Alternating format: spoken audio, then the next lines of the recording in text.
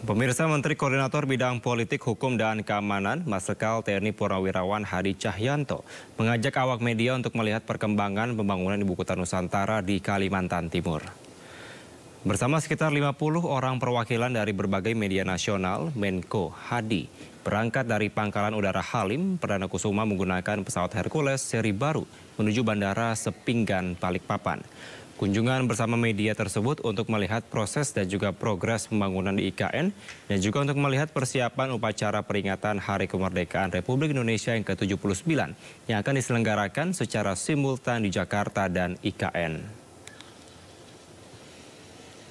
Saya sengaja mengajak Kominfo selaku Kementerian Teknis pada bidang informasi dan komunikasi publik mengenai kebijakan pemerintah dan strategis.